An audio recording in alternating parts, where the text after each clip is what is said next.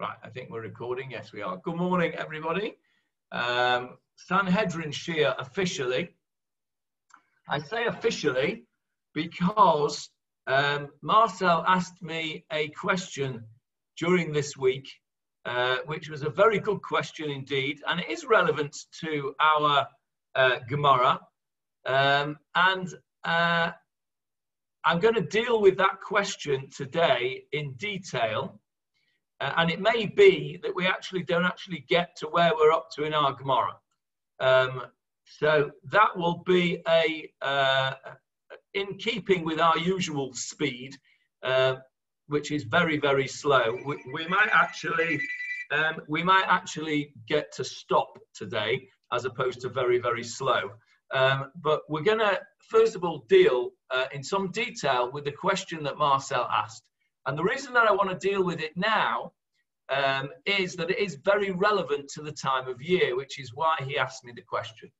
Uh, let me uh, share with you uh, Marcel's question. Uh, let me see if I can find the exact question that he asked me here. One second. Okay, where are you? Let's have a look.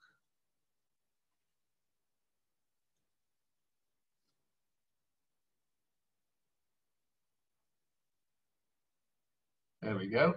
Right, let me share the screen.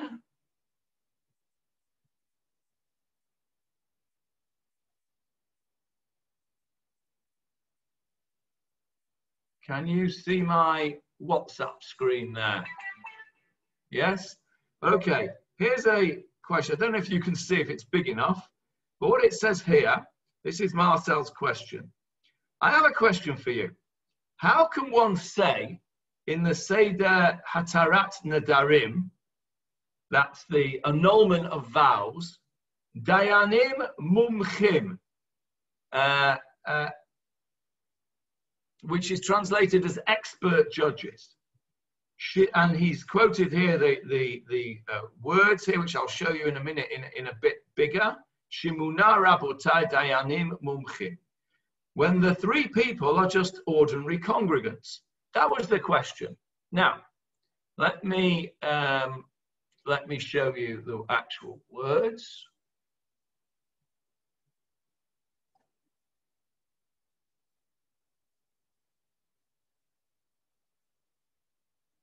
Can you see those words here now on my screen? I've made it bigger for you. This is the beginning of Hatarat Nedarim. Hatarat Nedarim is the annulment of vows which takes place on Erev Rosh Hashanah. That's why I want to deal with it today, because obviously it's relevant to the time of year. And the idea of Hatarat Nedarim is that the, uh, the Torah goes out of its way to stress the importance of vows. There is a whole tractate called Nedarim, vows, um, and the Torah goes out of its way um, to tell us all about the importance of vows uh, and how uh, one must keep one's word. We've seen in our in our Shoftim Shiur uh, what happens when you make a vow, how important it is. You'll remember the story of Yiftach, um, who uh, made this uh, silly vow that whoever came out or whatever came out to greet him after his victory would be offered as a sacrifice. And of course, it was his daughter. So, um, and he felt duty bound to uh, carry out that uh, fulfillment of that vow. Vows are very, very important in, uh, in Judaism. So much so that you will hear people when they say they're going to do something, they will specifically say beli neder, bli neder, which means without a vow. So if I say uh, to you, uh, after this year, I'll give you a call or I'll come and visit you, bli neder, I'm making it absolutely clear that I'm not promising this.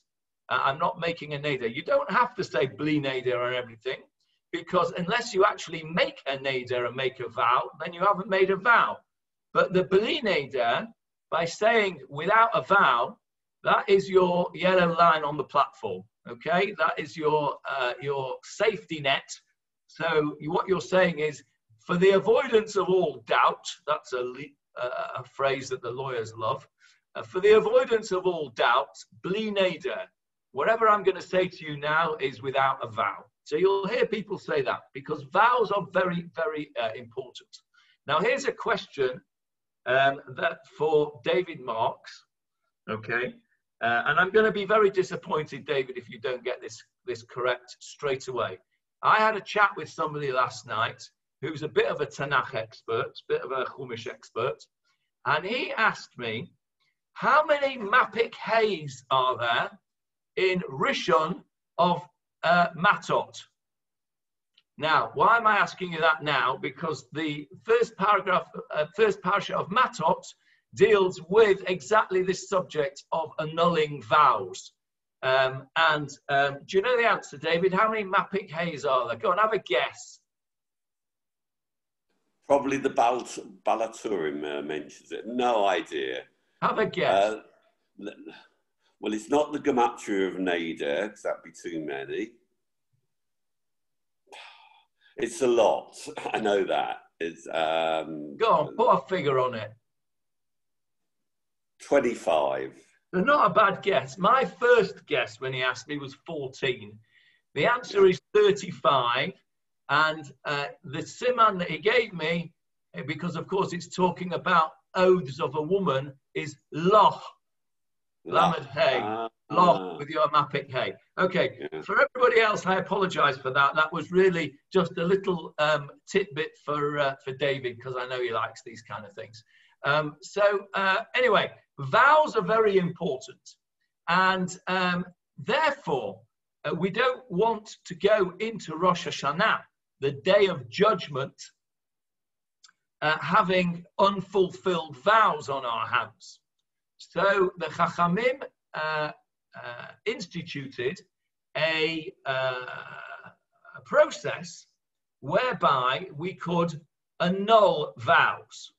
And we could do this process called Hatarat Nedarim, of annulling vows. Now, those of you who've ever done this process, it's usually done uh, after Shacharit uh, on, uh, on uh, Rosh Hashanah morning. Um, what happens is you get three people three men to sit in, uh, sit down, and one person uh, stands in front of him and reads. Erev Rosh Hashanah, Johnny. Sorry? Is it Erev Rosh Hashanah? Erev Rosh Hashanah, yeah. Erev, Erev yeah, Rosh Hashanah morning. Yeah. After, yeah. Uh, after Shacharit, usually. Shacharit. It doesn't have to be. It can be uh, uh, before Mincha. It can be whenever you want. But it's traditionally done on Erev Rosh Hashanah morning.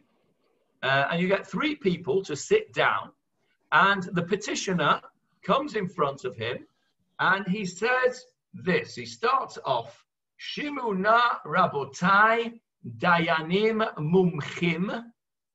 Uh, now I'm going to ask Leon now to uh, read out from the ArtScroll uh, the translation of the annulments of vows. It's on page three, Leon, wherever you are. I can't even see Leon now. I think we've lost Leon. He was here before, but it looks like he's, he's dropped off. So I'll do it for you. It says here, this is the Art Scroll translation. Listen, please. You can see the, the Hebrew words on the screen. Shimuna, uh, listen, please. Rabotai, my masters. Dayanim Mumchim. Here, I've got Leon on the phone here. Hang on a second. Let me deal with Leon. Yes, I just noticed you dropped off, Leon. Uh, we can't we can't see you either. You've disappeared. So you come in again. Yeah, okay. I'll let you in again.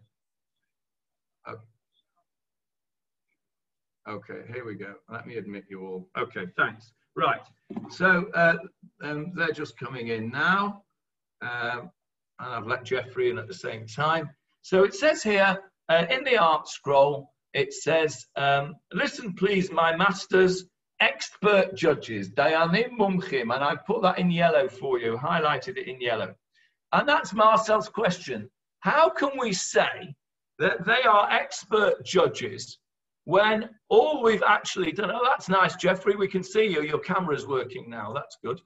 Um, So how can we say that these people are Dayanim Mumchim? Julia will remember very care, very well because she asked the question a good few weeks ago about uh, the concept of having lay people as judges and experts. Remember, we said that in monetary matters, there had to be expert judges uh, who knows the whole laws of, of, uh, uh, of monetary matters. There's no point getting some schmerel who doesn't know what he's talking about. So, first of all, we say we call these people dayanim mumchim, and they're not mumchim. They're not experts. They're just three people who happen to be in shul that morning. Um, so that's that's Marcel's question. So I thought that's a very good question, which I had never thought about. Uh, and I thought about it for a minute and I thought, well, it's just being polite, isn't it?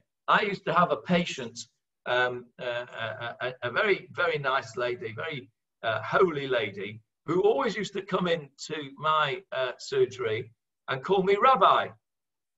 And I used to say, I'm not a rabbi. I wasn't then. Uh, and uh, I said, I'm not a rabbi, I'm a doctor. And she always used to call me rabbi because it was, it was a term of respect. It was the highest term of respect that she could give. Um, and she wouldn't be deterred from, uh, from giving me this, this title. It was very nice of her. Uh, I should really let her know now, shouldn't I, that uh, uh she can actually uh, call me rabbi correctly for once. Anyway, uh, so I just thought about this just when Marcel asked me the question, and I thought, well, it's just it's just you know a courtesy title, like you see in the Torah, where where Yaakov says to Esav, and he refers to himself as your servant the whole time.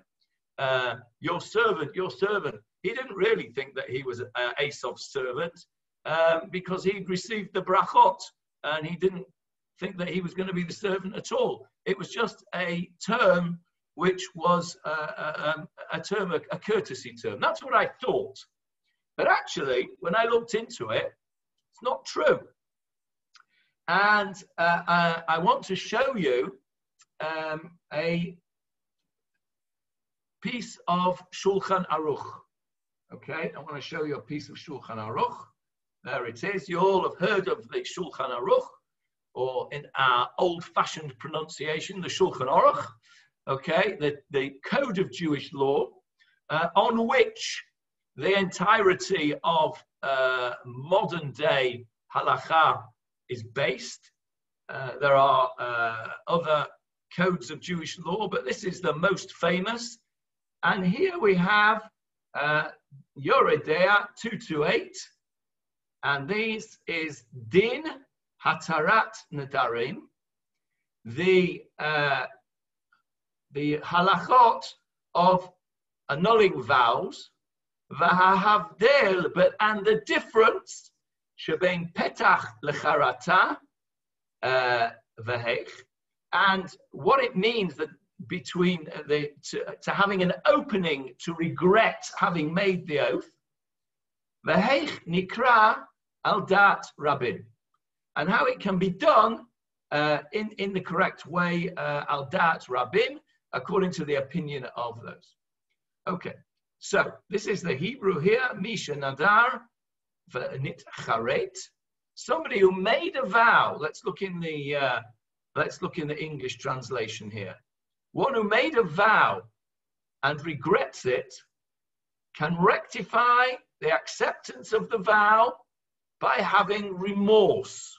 Okay, charata or in the old Yiddish pronunciation, charota. Okay? Somebody, yeah, Leon's nodding. You've ever had charota about something, Leon? Yeah. Happens quite often. You buy something and you think it's a real bargain and you get it home, actually turns out to be rubbish, and you have charota. You've got charota that you bought it. You have regrets that you ever bought this in the first place. Yes, Leon? Yeah, you can Yes, I had charota for something that I didn't buy and should have done. Ah, that's yes, that could be even more expensive. Yes. Yes.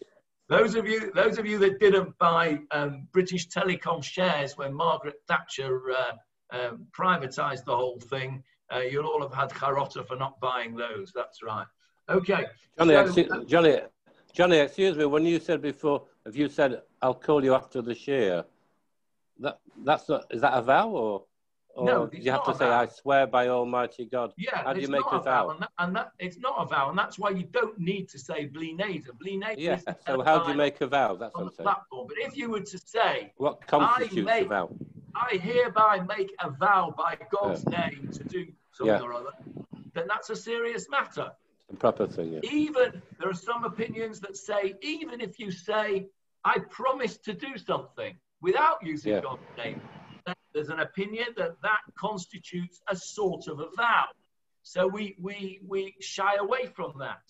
Um, for example, for example, um, when uh, when you go to court uh, as a witness, uh, which I do quite often, I uh, am uh, in, in, in, the courts in the UK. Uh, the standard uh, thing to do is to take an oath.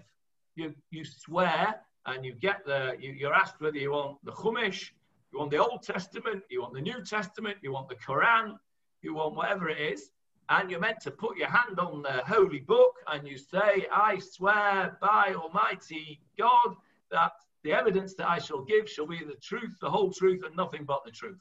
Right? That's the oath that you're meant to take when you go there. Now, um, there are people, uh, religious Jews amongst them, and religious uh, uh, Muslims amongst them, who don't want to make an oath. That's not to say that they're being tricky and they're not going to tell the truth, but they don't want to make an oath in case, by mistake, Oh, something that they say is not the whole truth and nothing but the truth. By mistake, it doesn't mean that they're deliberately going to lie, but they may inadvertently not say the whole truth and nothing but the truth. And there, they would have thereby um, violated a very serious uh, matter uh, of taking a, an oath and violating that oath. And therefore, in the British courts, and I'll be interested to know what it's like in the Israeli courts and in the uh, South African courts and in the American courts. We've got uh, all sorts here today with us. Um, in the English courts, you have an option to affirm. Okay, so you can affirm and you can say, without taking the oath, you can say, um, I promise to tell the truth, the whole truth, and nothing but the truth, uh, without using the holy book and without uh, invoking uh, God's name. Um, now, uh, I've been in I've been in court where a certain person, uh, um, a certain person affirmed and did not take the oath. Ah, by the way, when I go to court, I always affirm because uh, I don't want to take an oath just in case. Case oaths are very important, so I affirm. So this person affirmed, and uh, it was clear to the to the judge um, that he wasn't telling the truth. Uh, uh, it, uh, it would actually would have been clear to a three-year-old that he wasn't telling the truth, actually. Um, and, and the judge uh, turned around to him and said, um, "Mr. So-and-so, can I remind you uh, that uh, by affirming that did not uh, mean that you are um, free from telling the truth. Uh, I remind you that you have affirmed to tell the truth."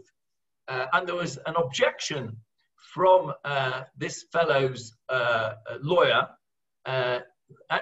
The, the guy was, he was the defendant in the case, and the judge found against him. There was an appeal, and the case had to go to a retrial because the uh, fellow's lawyer uh, wanted to say that the judge was biased against the client because he affirmed and didn't swear. The guy was a was a Muslim, and he affirmed. And the guy, the, the, the lawyer wanted to say that this guy was uh, Islamophobic, and because he reminded him that he had affirmed and not taken the oath, that that was showing his Islamophobia, and that he thought that this tricky guy was not telling the truth because he hadn't made an oath. Uh, and, the, and, and the appeal was successful and it had to go to a retrial. Uh, at which he was uh, um, he was uh, he lost that case as well. Uh, but that's another matter. So uh, um, that's just an interesting aside. Um, so we're very careful about making oaths. Yes, Howard. I don't know if I'm anticipating what you're going to say later, but Kol Nidre, the prayer. You are. You are anticipating. you. Okay. Um, hold, hold the thought. Hold the thought. Okay, so um, oaths are very important. We try and avoid making oaths, and this is an option for us to um, to annul our oath. Just before we come to that, um, what I wanted to show you, um, uh, I don't know, uh, Leon, have you is your uh, M- Machzor and Art scroll? Yes. Okay. Has anybody got a Koren Rosh Hashanah Machzor? Okay. Have you got it there with you? Yes. Oh, Johnny, have you got it there with you, in front of you? Just, Johnny can go and get his Koren Machzor, and I'll show you something interesting in the Koren Machzor. Um, so, um, oaths are very important, and we have this option uh, of Hatarat Nedarim. But if you see in, in our Shulchan Aruch here, just while Johnny's gone to get his Machzor, we'll just read what this says. One who took a neder and regrets it can rectify the acceptance of the neder by having remorse. Now, that it's on page uh, page three. It's on page three, Johnny. It's on page three. So it says in the Shulchan Aruch here that in order to undo and, ha- and rectify the acceptance of the vow, you have to have remorse. In other words, you have to regret having made the vow. Even if one took a neder with the name of God. So what should that person do? That is the, uh, this is what the Shulchan Aruch is telling us. Remember, this is the code of Jewish law, the Shulchan Aruch. What should the person do? They should go to a wise Torah scholar. Let's have a look in the uh, uh, Hebrew. Yelech etzel chacham mumche. Mumche, an expert. A chacham mumche. He has to go to an expert, wise person. Remember our uh, remember our words that we had. We had Shimuna Rabotai Dayanim Mumchim, expert witnesses. So that's where he gets it from. The Shulchan Aruch tells you you have to go to an expert. Look at that; it's in the singular. Chacham Mumche, one expert judge, the Gamir, who is very learned, same word as Gemara, right? The Gemara, the Savir, and logical. He's wise, he's logical, right? He's an expert, he's a mumcha, he's a Gamir, and he's Savir. Okay, and that's what you have to do. Now have it looks, and have it looks. Look now what the next words of the Shulchan Aruch is. Ve'im ein yachid mumcha, and if there is no individual who is an expert, yelech, he should go etzel to, to shlosha hedyodot, three simple people. Hedyot. It's uh, sometimes that word means idiot, uh, but it doesn't mean an idiot here. Uh, it means a non-expert. Hediot means a simple, straightforward person. So uh, an We have a Cohen Hediot. person. Do we have a Cohen yacht? We have a Cohen Hediot. We have the Cohen Gadol. Uh, the, the, the, the, and then we have a Cohen Hediot, the ordinary. So Not an Hediot idiot. means an ordinary person. Here, the, the, the Hediot is not a mumche. However, he's not an expert. However, he does have to be Vahu de Gemiri. He has to be learned.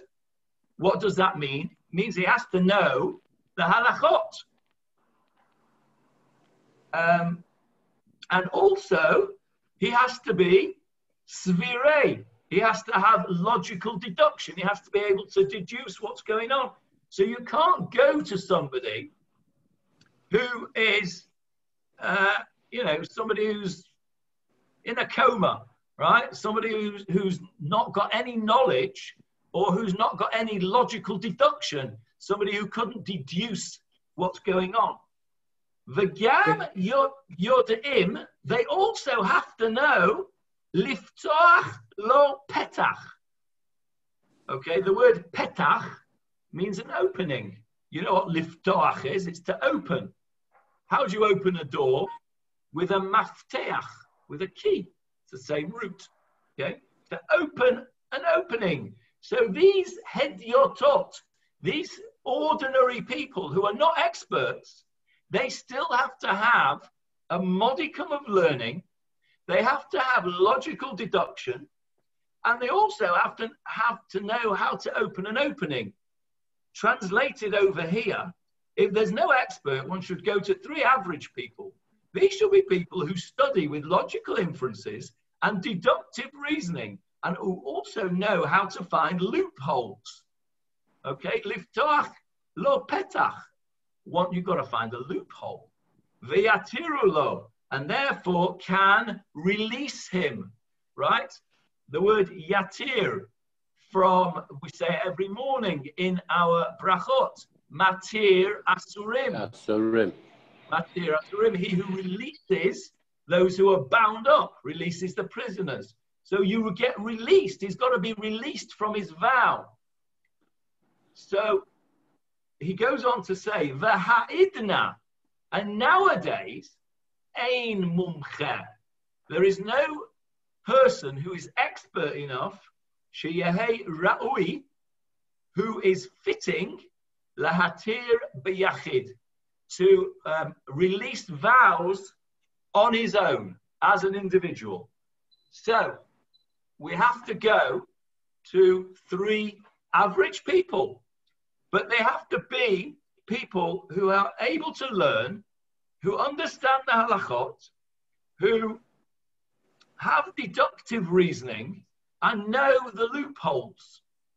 Now, do you think that the three people that you sat before when you did your Hatarat Nedarim last Erev Rosh Hashanah, do you think that they fit or fitted, if that's a word, into that category? Do you think? No. Do you even remember who those three people were that you did your uh, um, your Hatarat Nedarim for?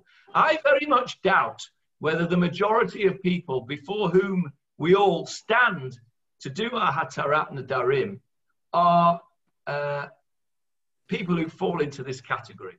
So, what is this all about? But before I go on to that, John has come back now with his uh, Machzor.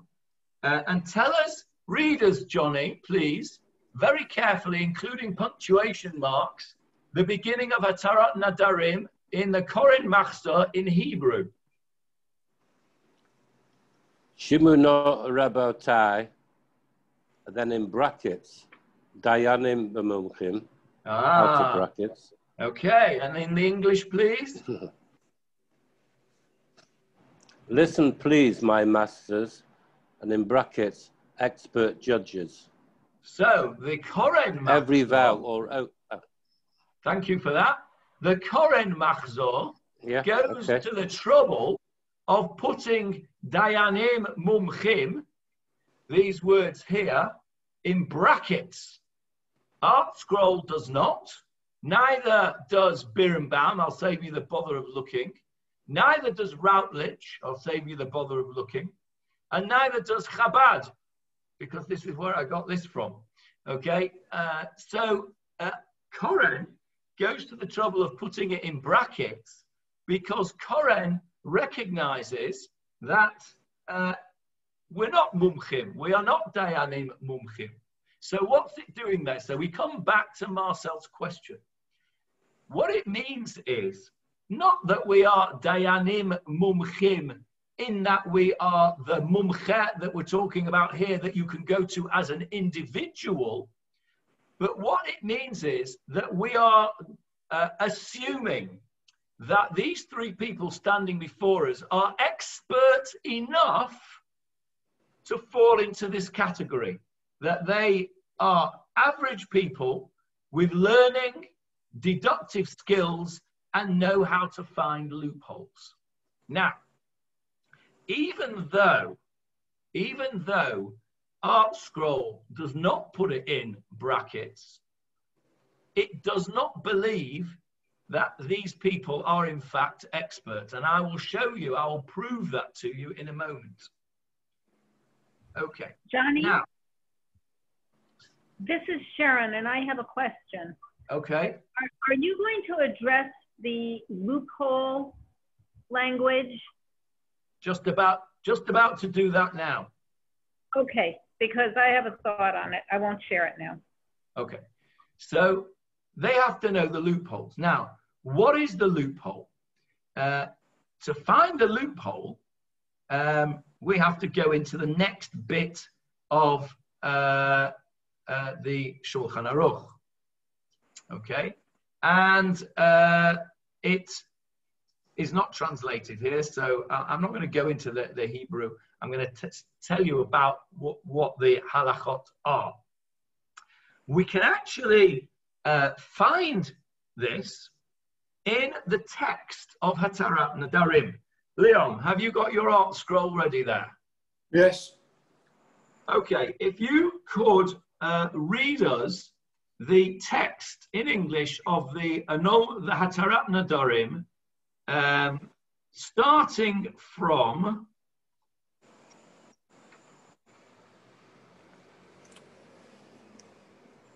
starting from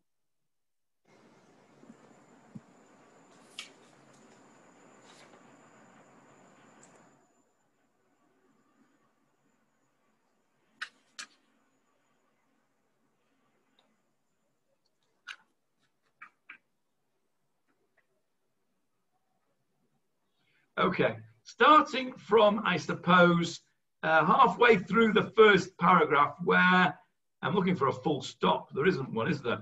Uh, there's a word there uh, halfway down the word myself at the beginning of a line, followed by a semicolon.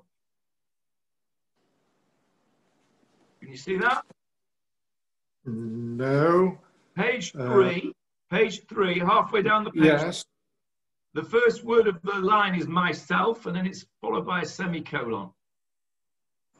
No, it must be a, a later print. Uh, Okay. there's no It- there's no I- line beginning myself. Okay, it, it's. I- I'll read it to you then. It says, uh, it's going on. It's saying all the kind of vows that I've made, and any utterance that escaped my mouth, or that I vowed in my heart to perform, on Ah. any of the various optional good deeds or good practices or anything else, blah blah blah. The thing that I did relate to myself was both regarding vows that are known to me and those that I have already forgotten. Regarding all of them, I regret retroactively, and I ask and request of your eminences an annulment of them. Right? So he says clearly, I regret them. The, He- the Hebrew word is itcharatna, which you will remember from Kol Nidre, because we have the same word. You'll remember this, the, the tune of, of there. We have a very similar word, itcharatna, from the word charata. So I regret them. I regret having made these things. And I regret them retroactively.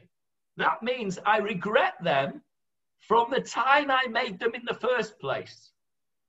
Now, why does he say I regret them from the time I made them in the first place? Because the, the, the problem is that, in fact, uh, if you go now, uh, Leon, I'm sure you'll be able to find this. Um, um, you'll see, Leon, later on it says the judges repeat three times. Yes. Now, immediately before that, there's a paragraph that says, Now behold. Yes. Read that for us and listen carefully, everyone. Now behold, according to the law, one who regrets and seeks annulment must specify the vow. But please be informed, my masters, that it is impossible to specify them because they are many. Stop there. Nor do Stop there. That's important. So, what he says is, or what we all say when we do this annulment, is I regret making all these vows. And uh, really, according to the law, I have to specify the vow and I have to tell you why I regret it. And you have to find me a loophole that I can get out of it. I can't just say, oh, I didn't mean it. That's not good enough. You have to find me a loophole. And what the loophole will be is this it goes like this I vowed to, let's say, I vowed, I had a, I had a machloikus with somebody. I had an argument with somebody, and I vowed never to go and visit that person. I'm never, oh, how many times have you heard this? I'm never speaking to him again. Right? I'm never speaking to that person again. And you did that in the form of a vow, let's say. Right? Now, turns out later on that actually what he did to you wasn't so bad. And actually, he didn't really do anything to you. And you got the wrong end of the stick. But you've now made a vow that you're never going to speak to him again. So you have to go to do Hatarat Nedarim. And you would have to go to these judges and say, I regret making that specific vow that I'm not going to speak to Yankel because I didn't realize at the time the real circumstances. Had I known the correct circumstances, I would never have made the vow in the first place. And then the judges can say, ah, I found you a loophole. You made a vow under false pretenses. You were under the, uh, the false impression that Yankel had done X, when in fact he'd not done X. And had you known that he hadn't done X, we accept that you would have never made that vow in the first place, and therefore we will uh, uh, annul that vow because it wasn't a proper vow retroactively. In the first place, it was never a vow because it was only a vow uh, made on the basis that Yankel had done or said X, when now we know that wasn't the case. So they now have found a loophole. You've given them a loophole to get you out of it.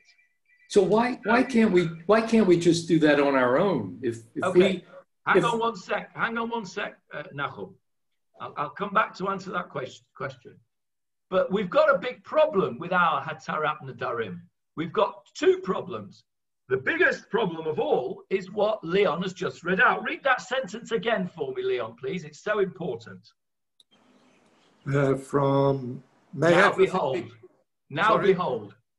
Yeah, now behold, according to the law, one who regrets and seeks annulment must specify the vow. But please be informed, my masters, that, that it is impossible to specify them because they are many. So if you can't specify the vow, how can you specify the circumstances which will allow the judges to say, ah, I found a loophole for you. You, uh, I can annul that vow because the circumstances that you thought uh, were pertinent that caused you to make the vow didn't exist. Now, the the you can't do that. If you can't even remember the vow, how can you say, I regret the vow because of X, Y, and Z? I can't even remember what it was. So, according to the law, and we say this clearly, according to the halacha, according to the law, you're meant to specify the vows. So then go to the next sentence, uh, Leon. Nor do I seek annulment of those vows that cannot be annulled. Therefore, may you consider as if I had specified them. So what you're asking, you're asking these judges to uh, give you carte blanche to annul your vows, neged halacha, in contravention of the halacha. The halacha on the darim is very, very severe. We know that because uh, we've got a whole uh, tractate on it. We've got loads of psukim. We've even got 35 mapik hays in one parasha on it. Okay, and it, it's there's loads of it. And you're now asking these judges first of all, who are not experts, uh, you're asking them to put aside these very, very important halachot and to annul your vow. Despite the fact you can't even remember what they are, you can't specify them, you can't give them any uh, opening to annul those vows, you can't give them any loopholes because you can't even remember the vow. Um, and we've just seen in the, in the Shulchan Aruch that these people need to be able to find a, a loophole. You have to be able to give them a chance to have a loophole. And you can't do this. You're saying it outright, you can't do it. So, what is this whole Hatarat Nedarim all about? Uh, yes, Johnny. Does not Adam Lachavero going to the man himself, apologizing, I am sorry, I didn't mean it. That must okay. be, that's a massive thing to do. That's a massive for, thing to do. For sure. The, the halacha says very clearly, and so does the Hatarat Nedarim, that it doesn't help if you, if you, uh, um, you know, if you've done something to somebody else, you have to get their uh, forgiveness. You have to ask forgiveness for them. Here yeah. we're talking about vows, uh, halachic vows, getting out of the halachic vow. Um, so, um, yeah, but so you what, vowed to do something not nice against this fellow. So you go back and say, I'm sorry, you know, I made that vow. Let's be pals. I'm really so sorry about it. Yeah, well, you would Please still give have me. Do, you're right, you have to do that, but you still have to do Hatarat Nedarim. Oh, both, both, okay. You have to do both. But at least in that situation, you know the vow that you made. Yes. You can specify it, and you can tell the Dayanim why you want it annulled. Right? Because you've made it to the guy, right? You've gone, you've made. Shalom, you no longer want to do that nasty thing to him. So they can say, fine, your vow no longer applies and we can annul your vow. But here, we can't do that because it's we, we can't specify. So what is this process of Hatarat Nedarim all about? Before expert judges or non-expert judges? It seems that the whole thing is a bit of a sham. And if you've ever done it, or if you've ever seen it done, it is a sham. Nachum, right? It's a sham, right?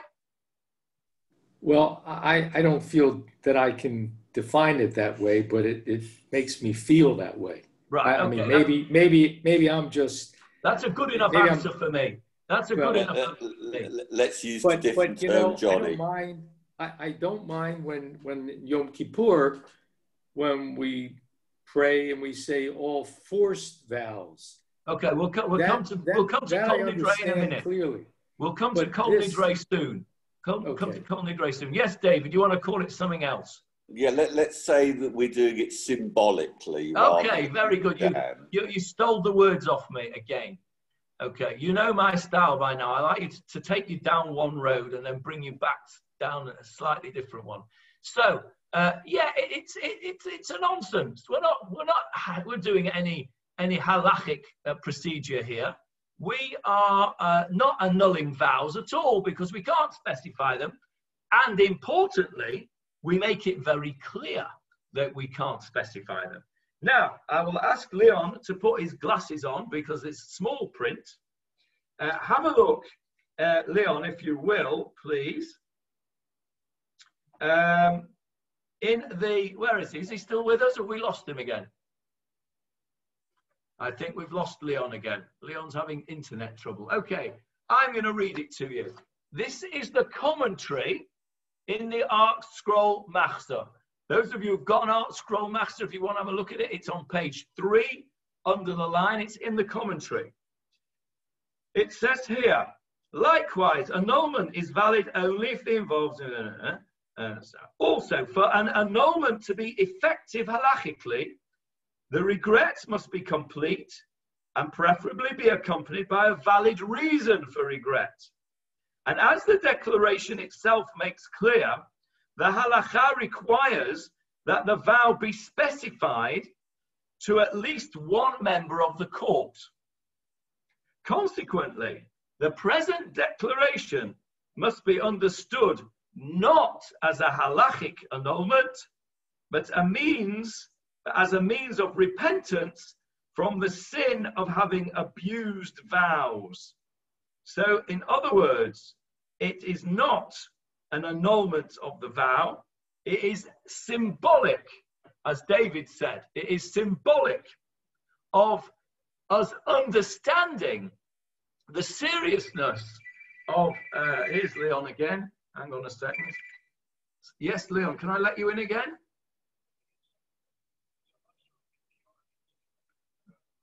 I can't see you in the waiting room even at the moment.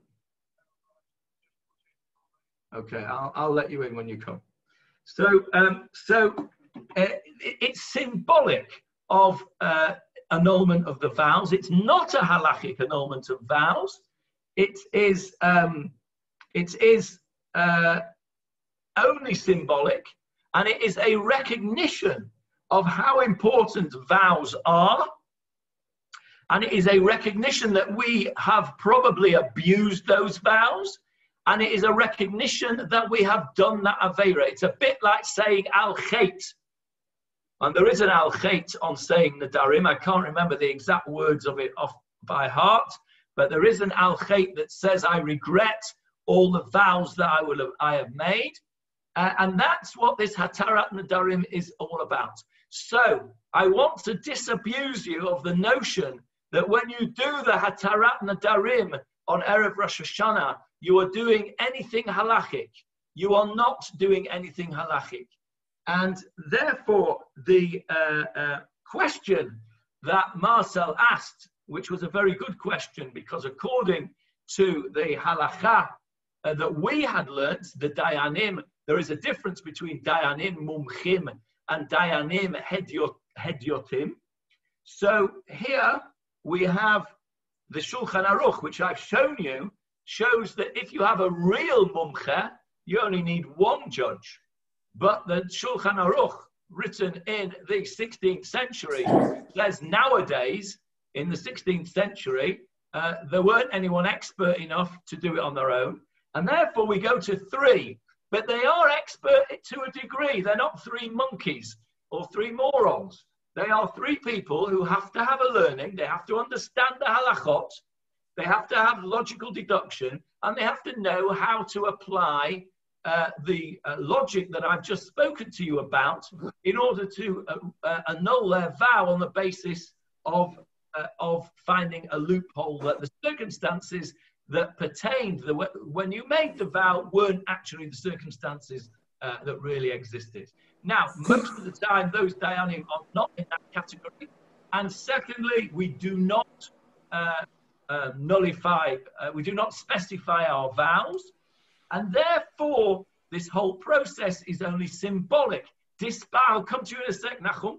Okay. Despite the fact that we actually go through something which appears to be a legal process, and that is that after the person has said what he said, that really I should specify all these vows and, uh, and, and I can't, I'm asking you to act as if I had specified it. So, what you're in effect, if you think about this, what you're asking these simple three guys who are not experts in anything, you're asking them to stop and put aside a very, very important Torah law.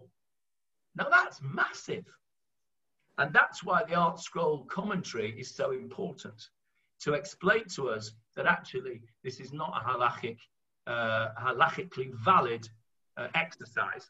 But we go on as if it were a halachically valid exercise because then, if you have a look, Leon, if you could read out the instructions to the judges in tiny little print there uh, after the words you've just read out. May everything be permitted no, before that, the instructions. May everything be forgiven you. May everything be allowed you.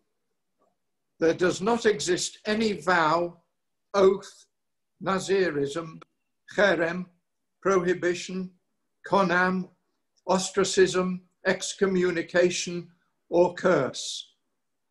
But there does exist pardon, forgiveness, and atonement. And just as the earthly court permits them, so may they be permitted in the heavenly court. Okay, so the judges say, okay, you're off. It's all clean. Just read out for us, Leon, the instruction to the judges immediately before that paragraph you just read in small print. The judges repeat three times. The judges repeat three times. That's a halachic requirement that you repeat the verdict three times. The reason being, of course, in case somebody hearing it might mishear it. Unlikely you're going to mishear it three times. So we pretend that we're going through a halachic process. We pretend that this is a halachically valid uh, um, process. Uh, ArtScroll notes point out very clearly that it's not. It's only symbolic. Uh, and I think it's very important that we recognize that it's only symbolic. The reason for that, of course, is that if you think that it is really a halachic uh, uh, annulment of vows, we might not be quite so careful with our vows in the future. And so, therefore, we have the next bit of Hatarat Nedarim, which we'll come to after we've heard from Nachum and Johnny. Nachum first. Well, couldn't we remedy this uh, this problem by having certain people in the community to be labeled a person who could carry out this this behavior? Like we we give people the right to be a rabbi, we give people uh, certification that they've done something kosher.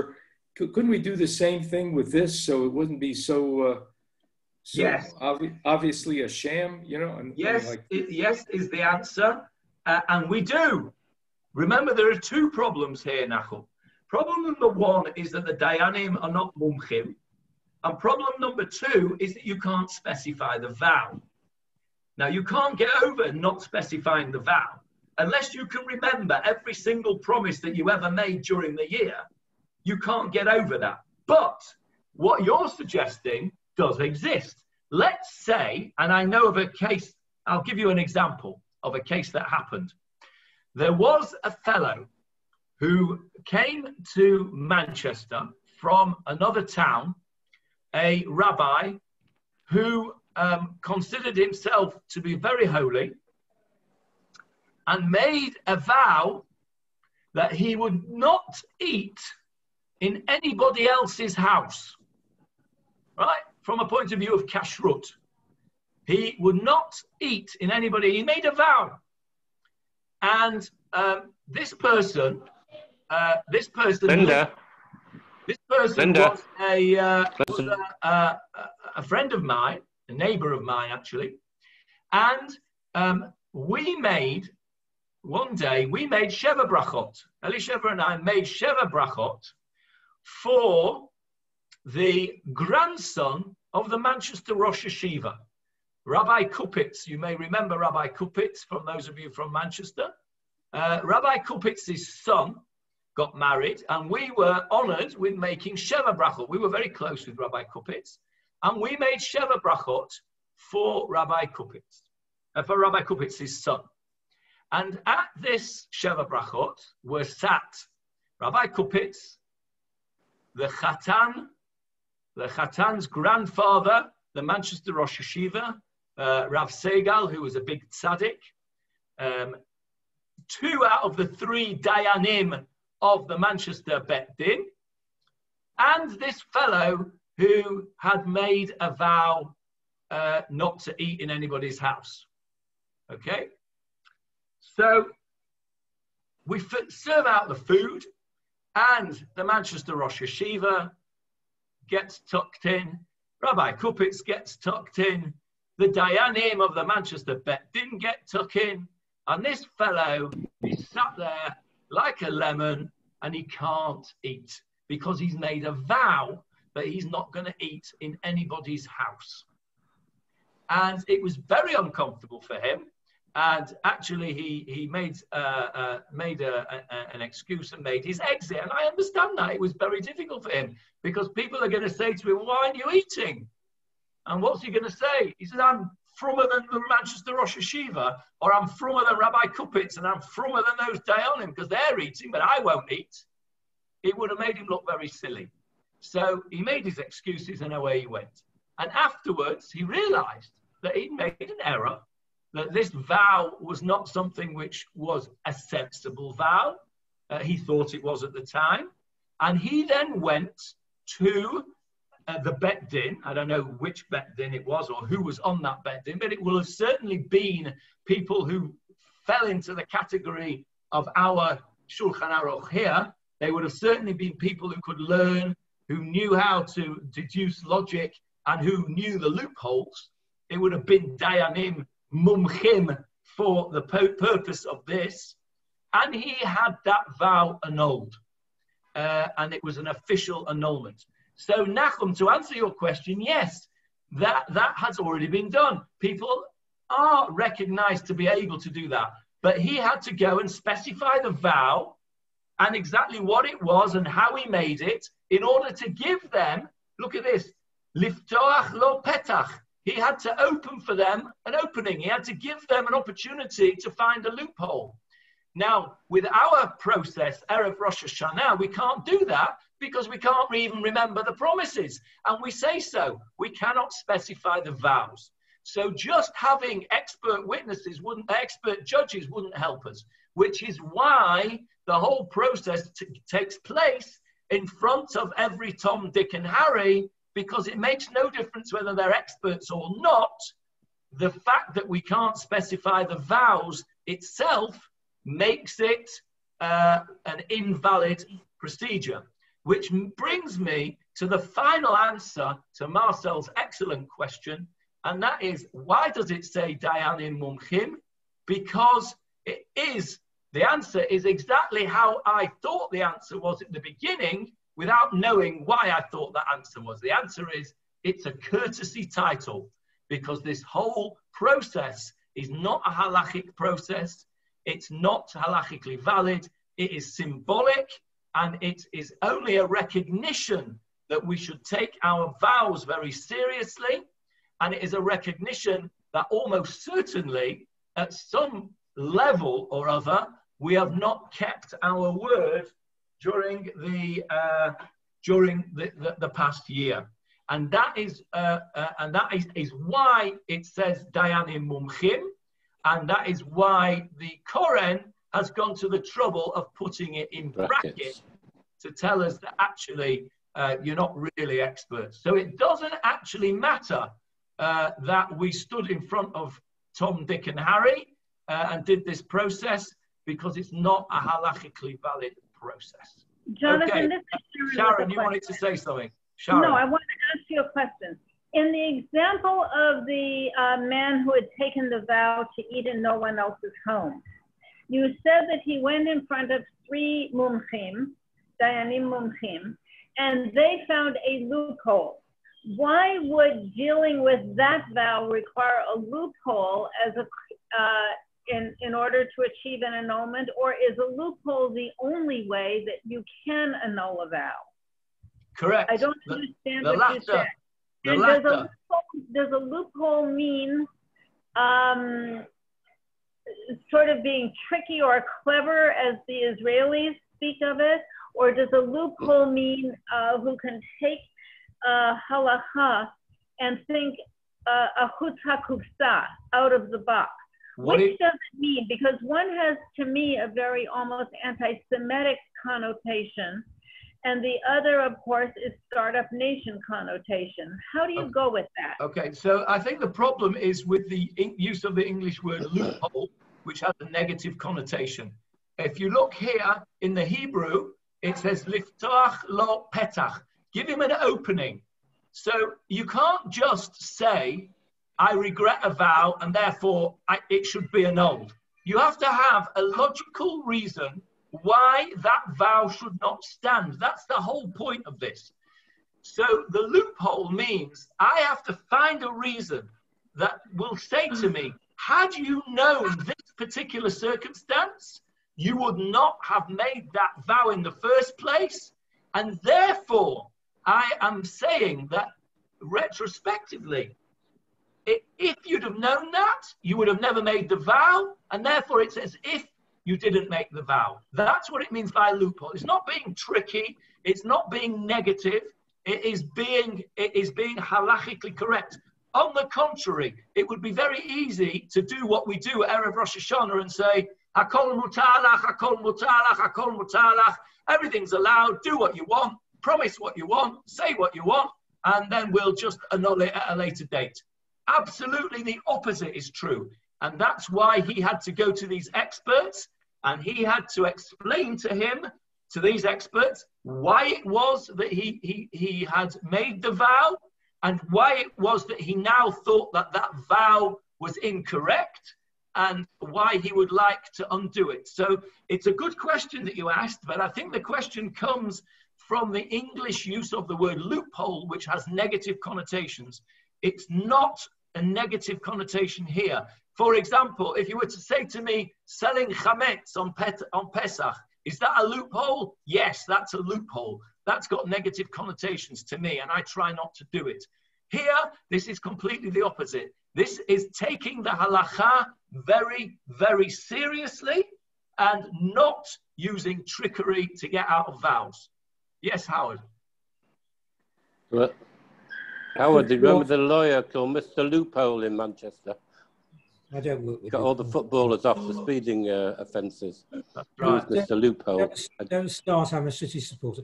This, all of this is, a, is as of nothing as compared with the blanket absolution that we confer on ourselves, Erev Yom Kippur, that is on Kol Nidre night, with the Kol Nidre prayer which has caused us no end of problems over Okay. the centuries with our detractors.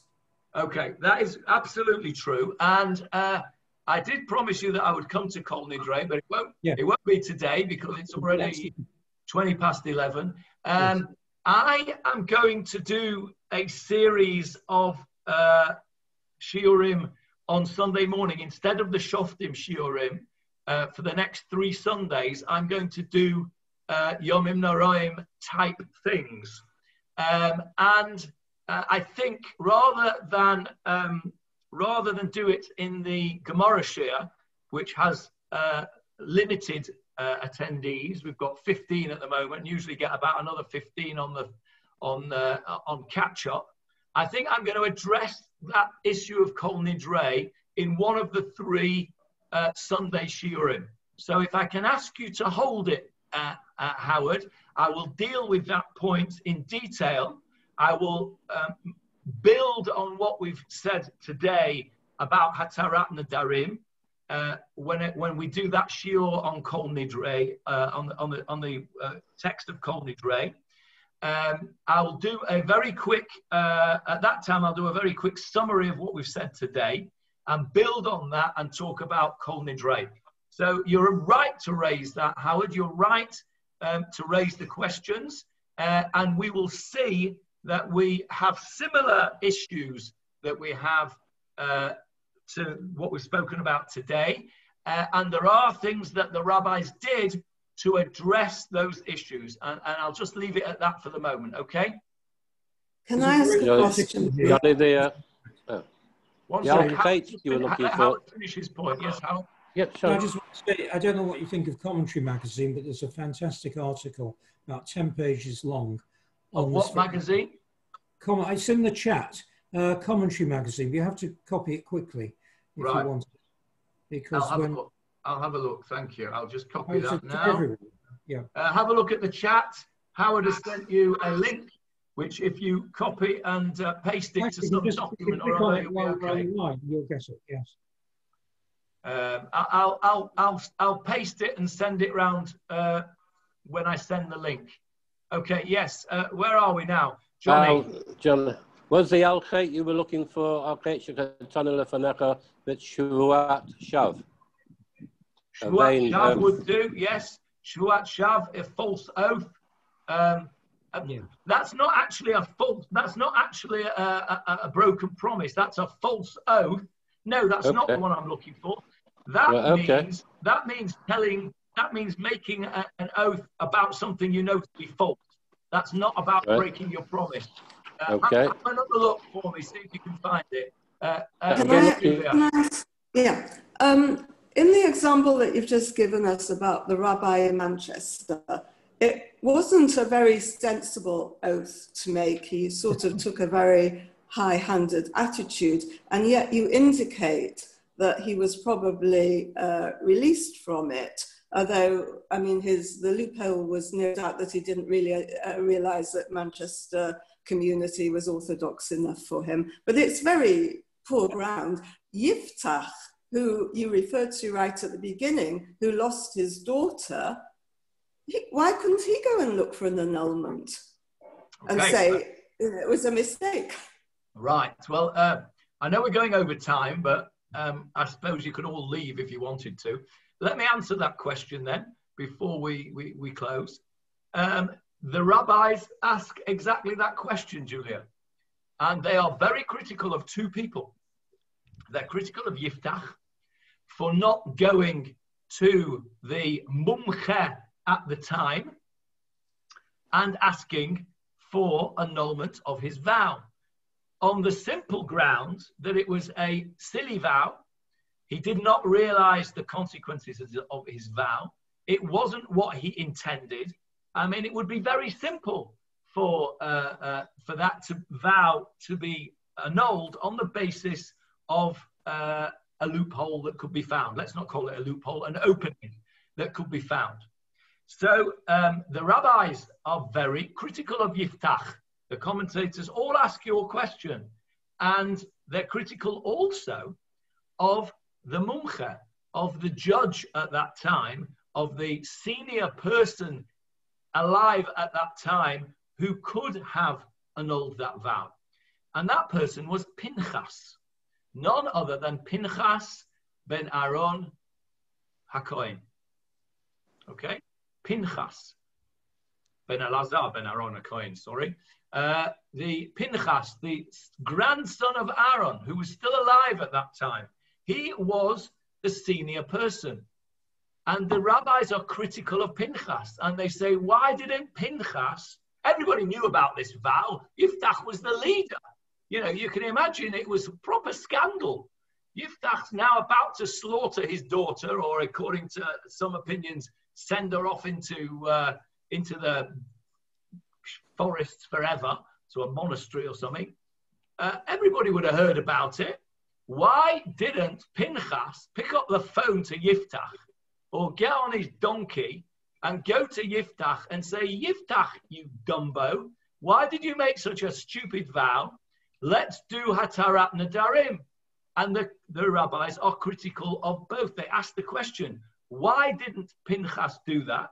And why didn't Yiftach go to Pinchas? And they say that this is what happened. Yiftach said, I'm the leader. It's the pasnisht for the leader to go to the Kohen. He should come to me. And the Kohen Gadol, Pinchas, Ben Elazar, Ben Aaron Kohen, says, I'm the Kohen Gadol. Pasnisht for the Kohen Gadol to go to an Amoritz like Yiftach, who remember, Yiftach started off life as a brigand. Okay, he was a thug. So Pinchas says, I'm not going to him, I'm the Kohen Gadol. And Yiftach says, Well, I'm not going to him, I'm the leader.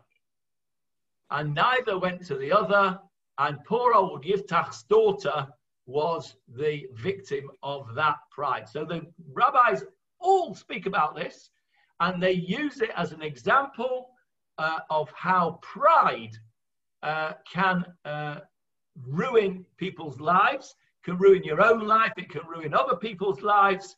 Um, and the, the idea of Hatarat Nedarim is brought down very clearly in the, uh, by the commentators uh, with the story of Yiftach. So your question uh, of 2020 is a, a, a, question that's been asked many times before. You're in very good company, Julia.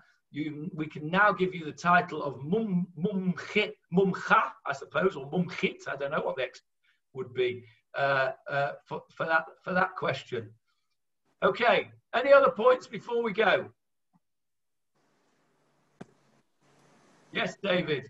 Yeah, just one pasuk from this week's parasha that uh, avoids all problems. If I read it, lindor, if you refrain from making vows, then you won't uh, come to sin. Okay, that's in this week's Sedra, is it? Yeah. So, okay. um, chapter 23, verse 23. How many times do we find that things uh, are, are, so apropos like that? Mm. Uh, so there you are. If you don't make a vow, I remember being told as a, as a junior doctor, stop doing tests. You're doing too many tests. If you don't take a temperature, you can't find a fever. Um, I, and I guess this falls into the same category. If you don't make a vow, then you don't have all these problems in the first place, which is why, and we come right back to the beginning, which is why you will hear people who are very particular say bli neder all the time. My, one of my daughters-in-law, uh, Liat, over in Australia, uh, um, can hardly say two sentences without bli neder. Uh, and she's right, of course. Uh, she's very careful to say bli neder at everything so that she does not have uh, that problem, and she is fulfilling that pasuk uh, to a very high level. Um, and uh, bli means without a vow, and you're absolutely making it clear that there's no vow. Yes, Marcel. Unmute, unmute, Marcel. We can't hear you. We can't hear you. Yes. First of all, thank you very much for, for answering the, que the question so amiably. Very, very good. But what I wanted just to say is, in conclusion to what you were saying, that it's a kind of a sham, it's not exactly a, a, a proper Beis Din at all, maybe there's another way to look at it, that the person has done, is, is doing real teshuva, and he's got three witnesses to, to, to, to accept that he's doing three, uh, real teshuva. What do you think about that? I, I think that's what the ArtScroll is saying, actually. If I re- read you again the ArtScroll commentary, it says Consequently, the present declaration must be understood not as a halachic annulment, but as a means of repentance from the sin of having abused vows. So I think that ArtScroll agrees with you that, uh, and, and, and, and maybe the bet din there is, is to give it some kind of uh, importance, some kind of, you know, uh, symbolic authority. So I think you're right. And I think David is right as well when he used the word symbolic.